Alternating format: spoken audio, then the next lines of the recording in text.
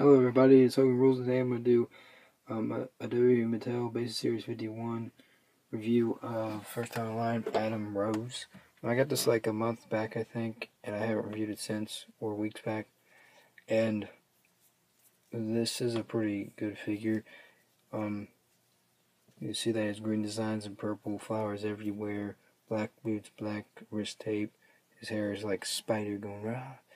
Then he has like a smirk look on his face. Do a 360 so you can see what he looks like.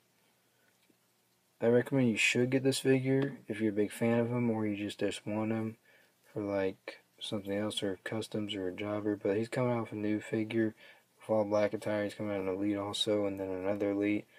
Yeah, because of Ringside Fest. I wasn't there, but I saw a lot of pictures on it on my Facebook and my Instagram and everywhere basically.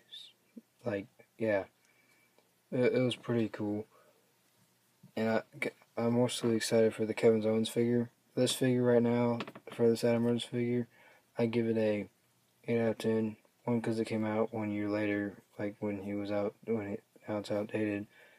Um, and two, that the reason why it's bad is that um, I really don't like him in this attire much.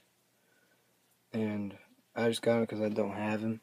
And I, I like, I like this figure a little bit, not as much as the others, but yeah, I will be doing a review of my Elite 37 figures, Brock Lesnar and Seth Rollins later on. Today I'm going to go to Walmart, I'm going to record some stuff there i at Hooker Walmart, hopefully.